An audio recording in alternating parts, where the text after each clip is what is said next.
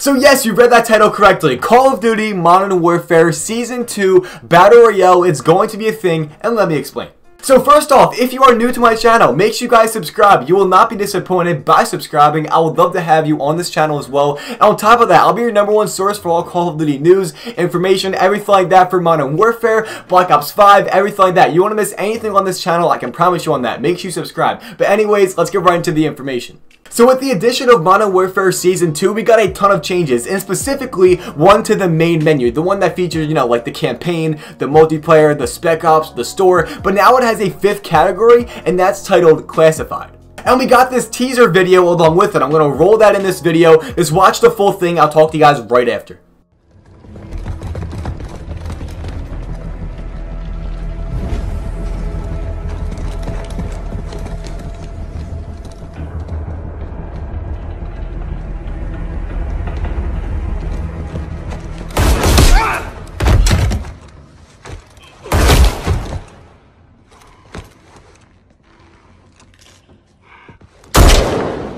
Target down.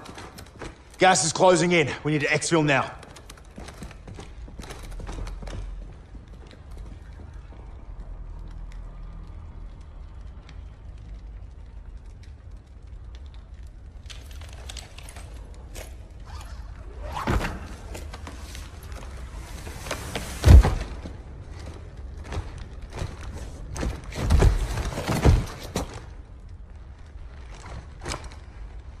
Price.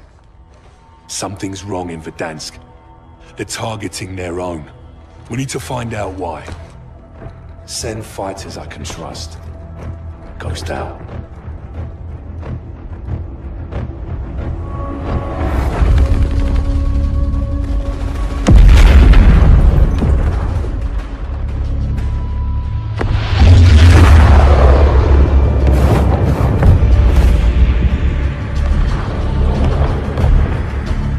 So yes, it is confirmed. Battle Royale is going to be coming to Call of Duty Modern Warfare either within Season 2 or the very beginning of Season 3. So now with all this information, I want you to comment down below. Would you actually play the Battle Royale for this game? I want to know your thoughts on this. I would love to know and I'm genuinely interested in what you guys think.